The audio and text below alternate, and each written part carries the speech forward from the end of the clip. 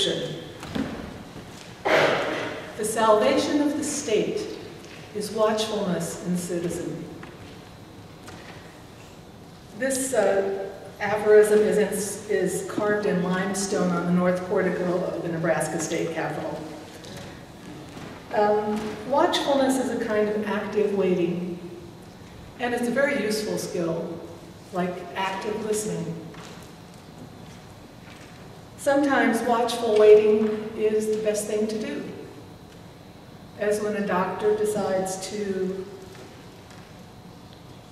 forego treatment and allow healing to take place. Sometimes watchful waiting is the only thing you can do, as when a crop has been put in the ground and the farmer scans the sky looking for signs of rain.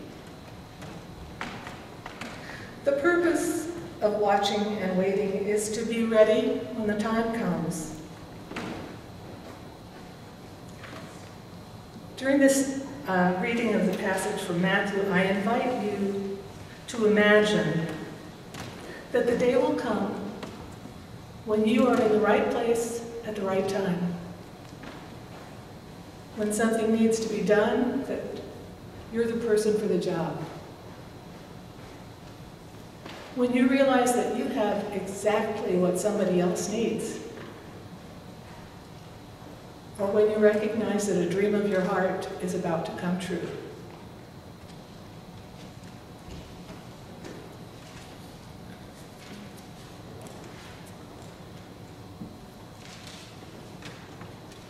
Matthew 24, verse 36, beginning and ending with 44.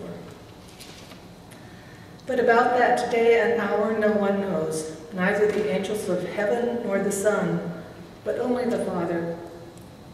For as the days of Noah were, so will be the coming of the Son of Man. For as in those days before the flood, they were eating and drinking, marrying and giving in marriage, until the day Noah entered the ark. And they knew nothing until the flood came and swept them away. So too will be the coming of the Son of Man. When two will be in the field, one will be taken and one will be left. Two women will be grinding meal together. One will be taken and one will be left. Keep awake, therefore, for you do not know on what day your Lord is coming. But understand this. If the owner of the house had known in what part of the night the thief was coming, he would have stayed awake and would not have let his house be broken into. Therefore you also must be ready, for the Son of Man is coming at an unexpected hour. The word of God for the people of God.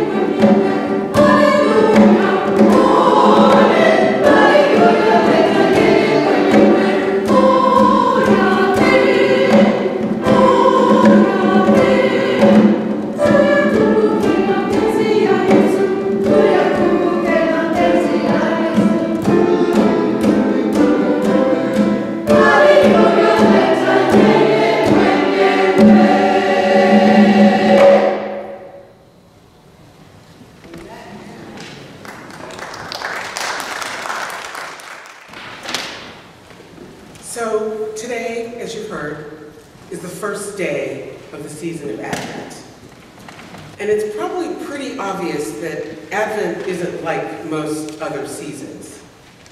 It's not one of the seasons of nature.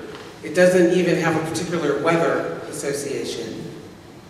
It's not a big commercial season, like you know those holidays that used to be a single day but now are several weeks long as indicated by the seasonal sale that precedes them. Halloween, 4th of July, Thanksgiving. You could argue that Advent doesn't get a lot of mainstream media attention because it's a religious season, but then how would you explain Easter and Christmas? They're also uh, arguably two of the goalposts of the Christian tradition yet they're also two of the biggest secular celebrations we have in the United States. Even Lent gets more mainstream media attention than Advent, despite Lent's traditional focus on giving up things versus Advent's focus on waiting for things. I think that part of Advent's low profile is due to its close proximity to Christmas. When you think about even how we talk about Advent, it's often in relationship to Christmas. We describe it as the four weeks before Christmas. Our Advent calendars are a countdown to Christmas. And we all know how crazy things get when we start preparing for Christmas, which we're encouraged to do earlier and earlier every year. This year, I think the Christmas music on Lite FM started the day after Halloween. The City of Chicago's Christmas tree lighting celebration, complete with carols and a visit from Santa Claus, was on November 22nd. And many major retailers started their Black Friday Christmas sales on the Tuesday before Thanksgiving. Basically, we start celebrating Christmas before Advent even begins, and once we start celebrating Christmas, we barely have time to catch our breath. Expectations tend to run high, so there's decorations to put up, cards to send, gifts to buy, family recipes to prepare, traditions to uphold. Plus, it's a great time of joy and fellowship, so there are many opportunities to gather with friends, attend holiday parties, Christmas concerts, travel to visit relatives, or prepare to host them in our homes. When you think about all that needs to get done, do we really have time for a season of Advent? I mean, if it's really just a period of Christmas preliminaries, do we really need it? As long as we're ready for Christmas, haven't we kind of done Advent already? Now, I'm hoping that you recognize those as rhetorical questions, and that we do need Advent. Because Advent isn't just pre-Christmas. It's a word by itself that is unrelated to even churchy issues. It means the anticipation, the waiting, the anticipation of something grand and important that is coming. Advent proclaims the coming of the Lord, which is actually different from and much more than saying that Christmas is coming. On this first day, uh, this first Sunday of Advent, it's also the first day of a new church year. And we are called to direct our attention to the future, to the future that God promised to our ancestors, Abraham, Sarah, Isaac, Jacob, and to us. A promise that was reiterated repeatedly by the prophets of ancient times, and a vision that still today sustains those that work to take us beyond the world as we know it to the world of what could be. A vision of global peace and justice and well-being, God's reign, God's kingdom here on earth. Advent joins the personal and the political. It is a time for hopes and dreams, for provocative possibilities. In this season, we're at the brink of something utterly new, long yearned for, but far beyond our capacity to enact. Advent invites us to rouse ourselves out of the predictability of our lives and our routines, to look up from our to-do lists and prepare ourselves to receive with eagerness and joy the unexpected, improbable, unimaginably amazing new thing that God is doing. Which brings us to the challenge of Advent. How does one adequately prepare for something that you've been waiting for and hoping for, but you're not sure when it's going to come? For me, the anticipation, waiting, and uncertainty of Advent will be forever associated with my experience of waiting for the birth of my first child. Back in those days, gender reveal parties were not yet a fashionable thing. And so Bruce and I spent several months getting our homes and our lives ready to meet our new child without knowing specifically if we were waiting on a she or a he, nor when he or she would arrive. I was working full-time at a job that required frequent travel, so I started my maternity leave a few weeks before my due date, just to be sure that I would be ready when the baby decided to arrive. Now, in the beginning of my leave, I was quite busy making last-minute preparations, stockpiling newborn-sized diapers and sleepers in neutral colors of yellow and green, putting the finishing touches on the nursery, making sure that my hospital bag was packed and the advanced grocery shopping was done so that everything would be ready when we came home. But as the weeks wore on with no baby in sight, I sort of slipped back into my normal routine. And at about 41 and a half weeks, my, daughter, my doctor told me that we were going to induce labor on a particular date because things just didn't seem to be moving along naturally. Though I was a bit bummed about feeling like I needed the extra help, I have to admit I was pretty relieved. Now that I knew the baby's arrival schedule, I could relax. So I turned my attention to getting ready for Halloween. I think this was the first year in a neighborhood where we were expecting a lot of trick-or-treaters, so we wanted the house to be festive, and we wanted to make sure that we had enough good candy to impress our neighbors. The trick-or-treaters started coming late afternoon, which was no problem since I was home on leave. And in the beginning, things were going pretty smoothly.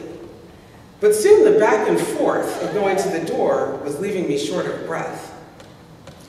And then my stomach started to cramp, which was kind of annoying, but I assumed it was related to the candy I was sampling, because we had the good candy. Eventually my back started to hurt, so I pulled a chair over to the door and sat near it so I wouldn't have to keep getting up and down to answer the door. I also tried drinking water to settle my stomach, but it seemed that no matter what I did, the pain just kept getting worse. Finally, after about two hours of this, I recalled that earlier in the day, when I had been out shopping at the mall, a few people had asked me if I was okay, because occasionally I stopped to grab a rack when I felt a sharp pain. I had assumed it was the baby just moving into an awkward position and kept shopping. But now, as my pain intensified to the point that it reminded me of the worst monthly cramps I had ever experienced, it finally dawned on me. I was in labor. It's a lot harder to figure that out than it probably sounds. Right. For the first time. And so in hindsight, it's pretty embarrassing that it took me so long to figure that out.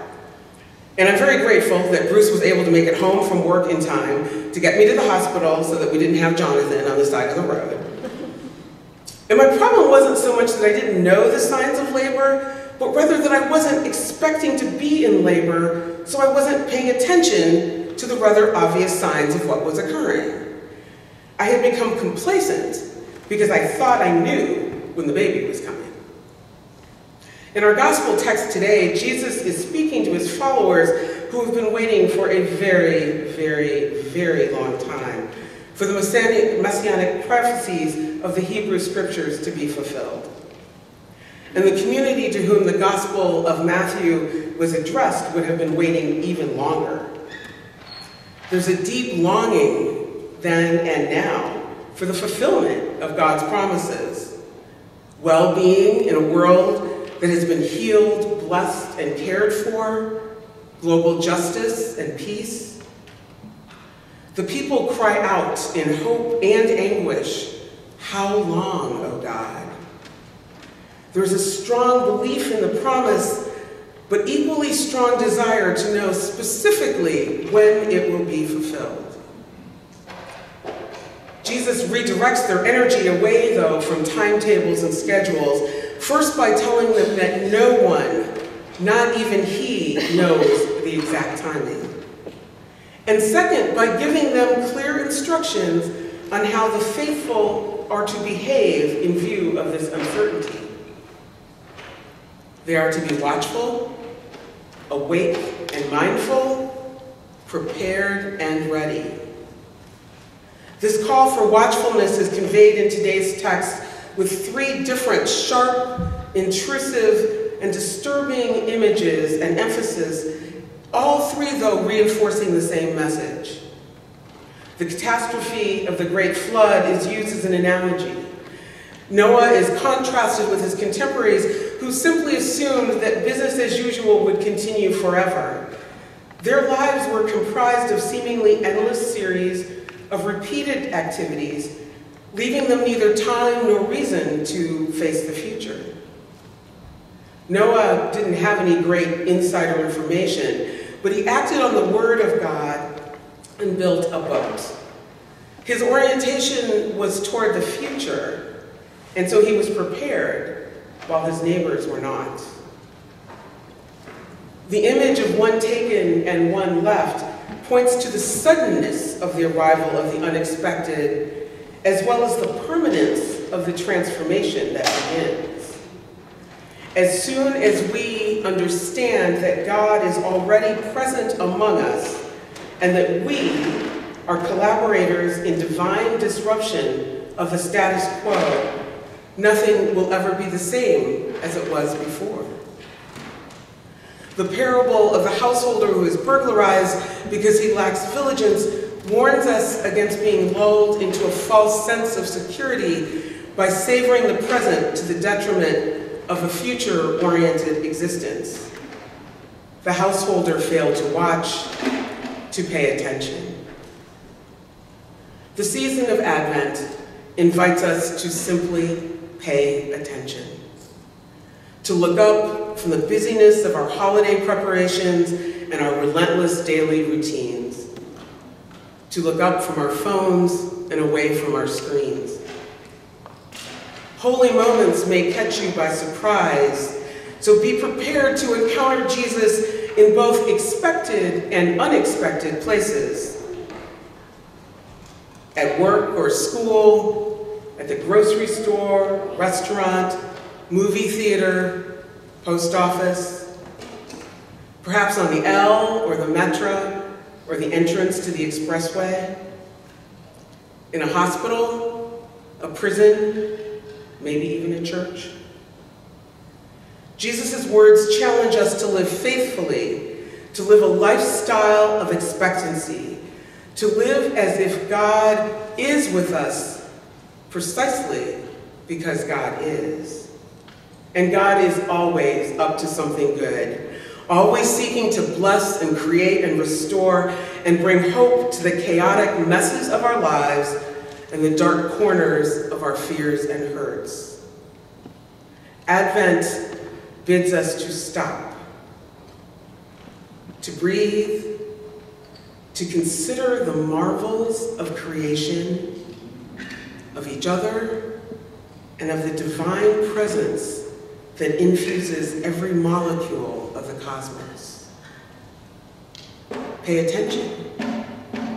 Be ready. Christ's coming is now. Amen. God be with you.